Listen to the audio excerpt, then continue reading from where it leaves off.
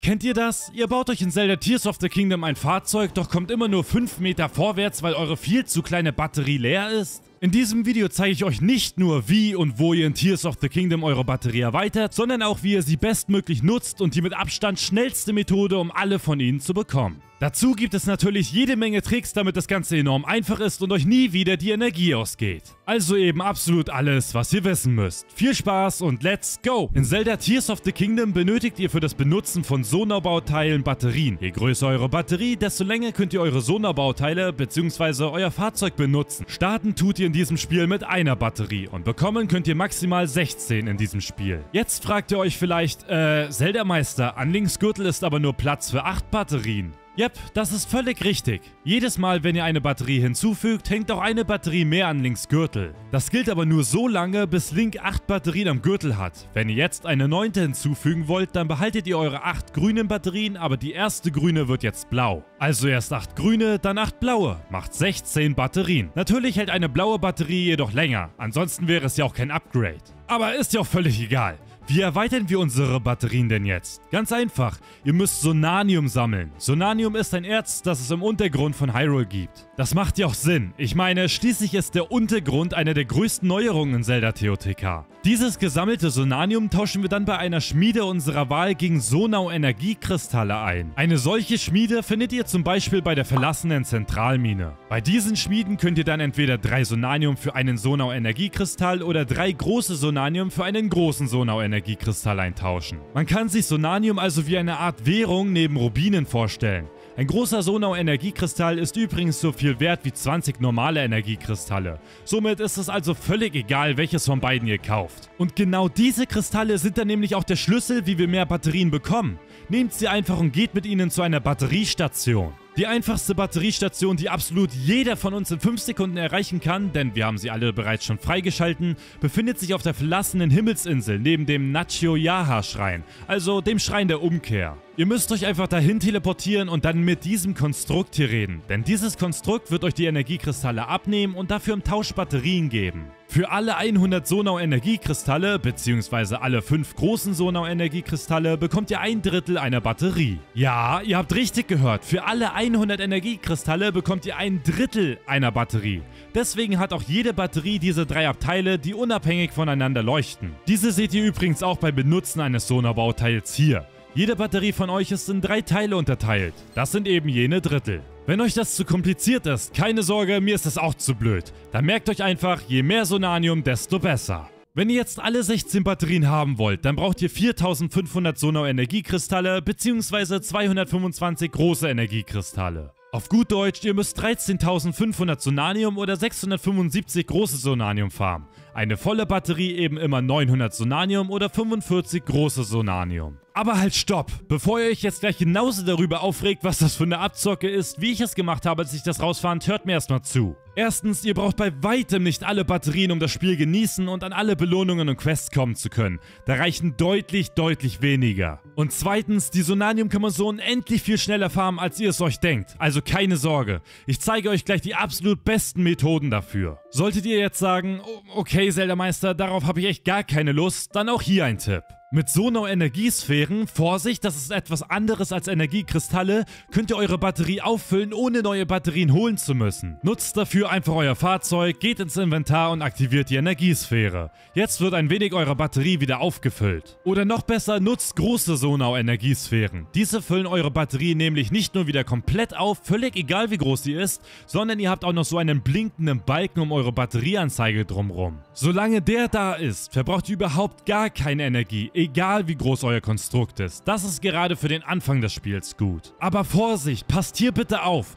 Diese Energiesphären, die ihr durch das Besiegen von Sonarkonstrukten erhaltet, brauchen wir nämlich auch, um an den Kapselautomaten Kapseln zu erhalten. Also benutzt nicht allzu viele von ihnen. Aber das ist im Prinzip auch völlig egal. Auf diesem Kanal müssen wir keine Kompromisse machen. Denn ich zeige euch jetzt die einfachsten Methoden, um so schnell wie möglich ganz viel Sonanium zu bekommen. Denn sind wir mal ehrlich, wir alle wollen viele Batterien haben. Okay, wir haben also gelernt, dass wir für mehr Batterien so viel Sonanium wie möglich holen müssen. Wenn ihr so schnell wie möglich ganz viel Sonanium haben wollt, dann folgt am besten dieser Anleitung. Erstens, geht zum vergessenen Plateau hier auf der Karte und springt in dieses Loch im Nordosten des Plateaus und geht sicher, dass ihr ohne Fallschaden unten landet. Neben euch werdet ihr so eine leuchtende Wurzel sehen. Diese solltet ihr unbedingt aktivieren, denn durch das Aktivieren von solchen Wurzeln leuchtet ihr die gesamte Umgebung aus und ihr bekommt einen Abschnitt der Untergrundkarte. Mit anderen Worten, diese Wurzeln sind für den Untergrund das genau gleiche wie die Türme für die Erdoberfläche. Von dieser Wurzel aus solltet ihr im Südwesten, nicht weit weg, ein Gebäude mit Lichtern sehen. Das ist die verlassene Zentralmine, zu der wir jetzt hingehen wollen. Auf dem Weg dorthin könnt ihr Schattenfiguren sehen. Keine Sorge, das sind keine Gegner, sondern nur Statuen, die Waffen für euch halten, die vom Miasma befreit sind. Habt ihr also noch keine guten Waffen, dann nehmt die gerne mit. Mit denen kann man wirklich nicht viel falsch machen. Sollte es euch an manchen Stellen zu dunkel sein, dann schweißt mit R einfach einen Leuchtsamen und sie leuchten euch den Weg aus. Wenn wir jetzt an der Zentralmine angekommen sind, dann aktiviert einfach diese grüne Schaltfläche hier und ihr erhaltet die Bautomatik. Mit dieser Fähigkeit könnt ihr eure eigenen Konstruktionen speichern und später wieder, sofern ihr die nötigen Sonarbauteile dafür habt, automatisch zu jeder Zeit und an jedem Ort zusammenbauen lassen. Das ist extrem praktisch und erspart uns enorm viel Zeit. Genau deshalb sind wir übrigens auch auf dem Plateau ins Loch gesprungen, denn dieses Loch befindet sich direkt neben der Zentralmine. Danach müsst ihr einen extrem einfachen Bosskampf machen und ja, der ist wirklich enorm leicht. Wenn ihr diesen Bosskampf schafft, dann bekommt ihr auch schon sofort 100 Sonau-Energiekristalle, also direkt genug, um die Batterie schon einmal zu erweitern. Und dadurch eröffnet ein Minenkonstrukt in der Nähe einen Shop, wo ihr Energiekristalle und große Energiekristalle kaufen könnt. Das ist übrigens auch der Shop, zu dem ich euch immer empfehle hinzugehen, denn hier sind keine Gegner, er bietet beide Arten von Energiekristallen an und durch den Teleportpunkt auf der Karte ist man sofort bei ihm. Das ist jetzt unsere Basis für den Untergrund. Von hier aus können wir alles mögliche machen, um schnellstens ans Sonanium zu kommen, oder Zelda-Meister? Absolut richtig. Von hier aus stehen uns alle Möglichkeiten offen. Bevor ihr euch allerdings gleich eure Lieblingsmethode aussucht und euch alle Batterien in diesem Spiel holt, noch ein kurzer, aber sehr hilfreicher Hinweis. Völlig egal, welche Sonanium-Fahrmethode ihr jetzt wählt. Ihr solltet versuchen, auf eurer Reise so viele Wurzeln wie möglich zu aktivieren. Einfach damit ihr durch sie überall Teleportpunkte bekommt und immer genau wisst, wo ihr euch befindet. Insgesamt gibt es 120 Wurzeln. Und hier ist das Coole an der Sache. Auf der Weltoberfläche gibt es 120 Schreine. Achtung, die auf den Himmelsinseln zähle ich nicht mit. Na, erkennt ihr es? Unter absolut jedem Schrein auf der Weltoberfläche befindet sich im Untergrund eine Wurzel. Das bedeutet, wisst ihr also mal nicht, wo die nächste Wurzel ist, dann schaut einfach auf eure Karte, wo sich Schreine befinden und guckt genau an dieser Stelle im Untergrund, beziehungsweise genauso andersherum. Jetzt sollten die Wurzeln absolut kein Problem mehr sein und eurer kompletten Karte des Untergrunds steht absolut nichts mehr im Weg. Aber gut, wie kommen wir denn jetzt an Sonanium? Erstens, ihr könnt Minibosse besiegen und ja, ja, ja, ja, okay, ich verstehe, dass manche von euch jetzt denken, Zelda-Meister, ich glaube nicht, dass ich das schaffe, weil ich noch schlechte Ausrüstung habe und so weiter. Absolut keine Sorge, Freunde, da kann ich euch gleich die Angst nehmen, denn die Minibosse sind überhaupt nicht schwer und geben enorm gute Belohnungen. Es gibt fette Kröten, Hinoxe, Stahlhinoxe, Ivarox, besondere Ivarox, Konstrukte und gut, bei denen gebe ich es zu, Leunen. Die sind zwar bei weitem nicht schwer, aber auch nicht ganz leicht. Für jeden Miniboss, den ihr besiegt, bekommt ihr 20 Sonau Energiekristalle. Also ja, ihr hört richtig. Ihr bekommt kein Sonanium, sondern die bereits fertig umgetauschten teuren Energiekristalle. Für alle 5 Minibosse bekommt ihr eine weitere neue Batterieerweiterung und das Besiegen eines solchen Minibosses dauert ca. 1 bis 2 Minuten. Und das Gute ist, je öfter ihr das macht, desto schneller werdet ihr sogar. Und wenn euch das noch nicht überzeugt hat, dann lasst euch sagen, dass ihr zusätzlich zu den bereits 20 Kristallen auch noch Sonanium und wertvolle und starke Items und Materialien bekommt. Also ja, das lohnt sich richtig. Den Kröten müsst ihr ins Auge schießen und die Steine auf deren Rücken kaputt hämmern. Bei Ivarox müsst ihr auch das Erz angreifen und bei Hinoxen müsst ihr ihnen ins Auge schießen, um sie zu lähmen und oder einfach so angreifen. Bei Stahlhinoxen müsst ihr auch ins Auge schießen und wenn es rausfällt, schnell darauf hauen, bevor er es wieder einsammelt. Erkennt ihr es? Es ist immer das gleiche Angriffsmuster und große Gegner, um euch Angst zu machen. Doch wir kennen ihre Schwachstellen und wissen genau, dass die nur auf Obermods tun, aber nichts drauf haben. Wenn ihr die Minibosse ausgerottet habt, dann kommen sie erst nach dem nächsten Blutmond wieder, der circa alle 2 Stunden und 48 Minuten kommt. Also markiert am besten alle Stellen auf der Karte, wo ihr einen Miniboss gefunden habt, um später wiederkommen zu können und euch diese geilen leuchtenden Energiekristalle zu holen und endlich mehr Batterien zu bekommen. Ich empfehle euch dafür so ein Totenkopf-Symbol, das für mich für Gegner steht, aber ehrlich gesagt, nehmt einfach was ihr wollt. Es gibt 40 hässliche Kröten, 20 Konstrukte, insgesamt 28 Hinoxe, 32 Ivarox und 19 Leuen. Außerdem gibt es Jägerverstecke. Jedes Versteck hat jeweils ein Schatzhaus mit roten Lampen am Eingang. Um da reinzukommen, müsst ihr den Jägersoldaten besiegen, der so rot leuchtet. In diesem Schatzraum bekommt ihr dann in einer der beiden Kisten 20, wer hätte es gedacht, Sonau Energiekristalle. Das geht hier aber im Gegensatz zu den Minibossen immer nur beim ersten Mal, wenn ihr sie besiegt. Wenn ihr euch fragt, wie ihr zu solch hochgelegenen Orten kommen sollt, dann ist hier die Antwort. Mit einem Fahrzeug, das fliegen kann. Okay, aber da ich weiß, dass nicht jeder von euch ein Flugzeug bauen kann, beziehungsweise gar nicht weiß, wie das funktioniert, habe ich mir für euch die Zeit genommen und das effektivste und am schnellsten zu bauende Flugzeug in ganz Tears of the Kingdom rausgesucht. Alles, was ihr dafür braucht, sind zwei Ventilatoren und eine Steuerungseinheit. Ja, das war's schon. Ich weiß, das klingt komisch, aber vertraut mir, Freunde. Das Ding ist wortwörtlich das beste Fahrzeug im gesamten Spiel. Solltet ihr diese Bauteile nicht haben, dann ist das selbstverständlich gar kein Problem. Geht einfach zurück zum Plateau und springt erneut in dieses Loch. Unten angekommen, wo wir ja schon waren, findet ihr direkt eine Werkstatt. Da findet ihr alles, was ihr braucht. Nutzt so eine Stange und legt sie aufrecht auf den Boden. Jetzt nehmt so eine Steuerungseinheit und packt sie kopfüber auf die Stange. Vorsicht, ihr müsst sie einfach mit B ablegen und nicht mit A befestigen, denn diese Stange selber brauchen wir nicht. Dann nehmt so einen Ventilator und richtet ihn mit einer Neigung von 45 Grad zu euch und befestigt ihn dann mit A zentral an der Steuerungseinheit. Achtung, das Ding muss wirklich zentral liegen, denn sonst fliegt die Karre wie eine Gurke mit Flügeln. Jetzt nehmt das Konstrukt, dreht es und lehnt es so an die Stange an, dass die Steuereinheit nach oben zeigt. Jetzt einfach noch einen Ventilator als Hinterrad sozusagen aufrecht anbringen und fertig ist das Fahrzeug. Jetzt fragt ihr euch bestimmt, warum ist das das beste Fahrzeug?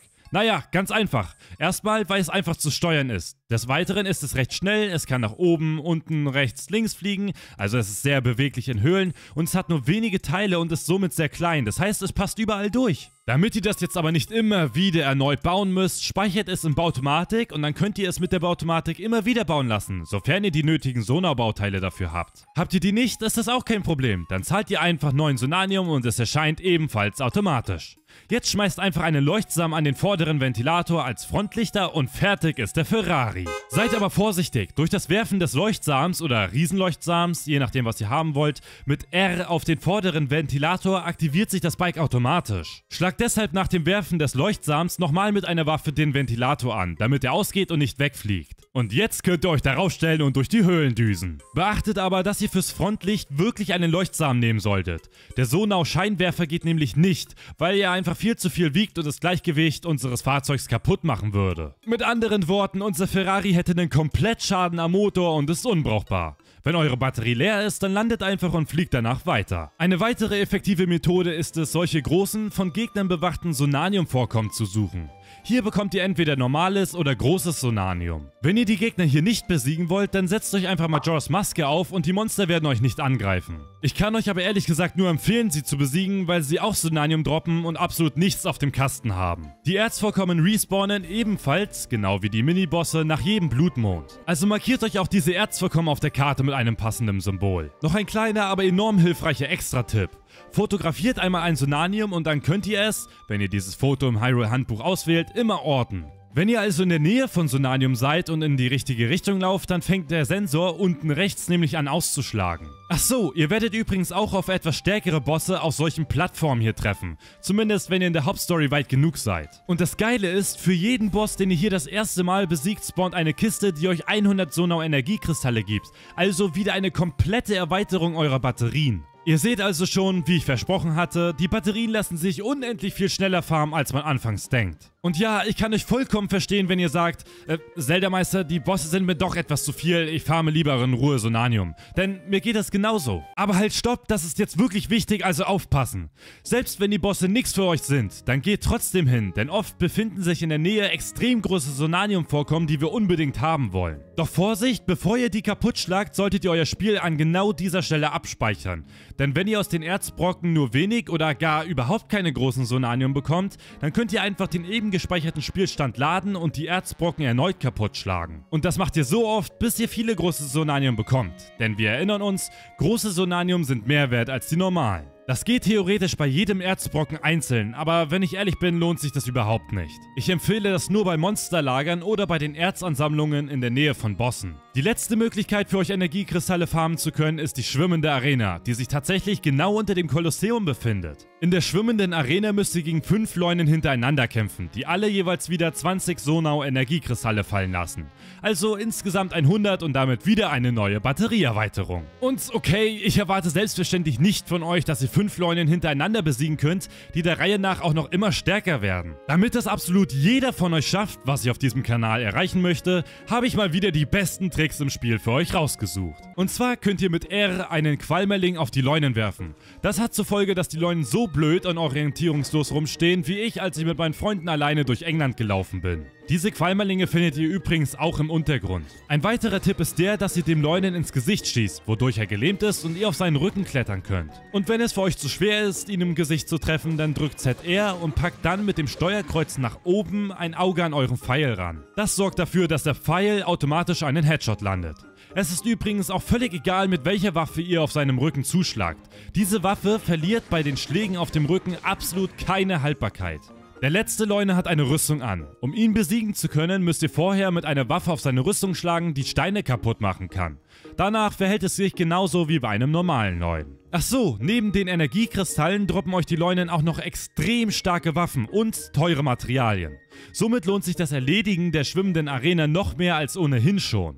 Für alle 5 Leunen zusammen solltet ihr jedes Mal so circa 1200 Rubine oder mehr erhalten, zumindest wenn ihr ihre Hörner und Co. verkauft. Da es wirklich unnormal lästig ist, jedes Mal hier hinkommen zu müssen, empfehle ich euch ganz stark einfach ein Teleportmedaillon vor den Eingang der Arena zu packen. Okay, 139 Minibosse, die jeweils 20 Sonau Energiekristalle geben. Macht insgesamt 2780 Kristalle. Dazu kommen noch die Erzvorkommen und die kleinen Gegner und das könnt ihr nach jedem Blutmond machen. Ihr könnt euch also pro Blutmond theoretisch, wenn ihr wollt und schnell genug seid, 32 Batterieerweiterungen holen. Also jedes Mal über 10 10 volle ganze Batterien, fast 11 Stück. Und insgesamt gibt es ja nur 16, wovon ihr mindestens schon eine habt. Also ihr merkt schon, es dauert überhaupt nicht so lange, wie man denkt, wenn man hört, dass man 13.500 Sonanium farmen muss. Aber stopp, Freunde, das war's noch nicht. Jetzt kommen noch kurz ein paar enorm wichtige Fakten zur Batterie, die ihr unbedingt hören solltet. Erstens, wenn ihr bei der Schmiede alle Kristalle leer gekauft habt und noch mehr kaufen wollt, dann geht einfach zu einem Stall, zu einer Stadt oder zum Spähposten und schlaft dort.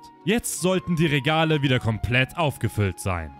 Zweitens, wenn ihr alle 16 Batterien gekauft habt, beziehungsweise alle eure Batterien blau sind, dann könnt ihr dort, wo ihr eure Batterien erweitern lassen habt, jetzt eure Sonau Energiekristalle gegen Sonau Bauteile eurer Wahl eintauschen lassen. Allerdings bekommt ihr dort nur die Sonau Bauteile, die ihr bereits als Kapseln in Kapselspendern gefunden habt. Drittens, man kann auch eine enorm seltene große Batterie an sein Fahrzeug packen und somit circa, je nachdem wie viele Bauteile euer Fahrzeug halt hat, circa 4 Minuten mit fliegen.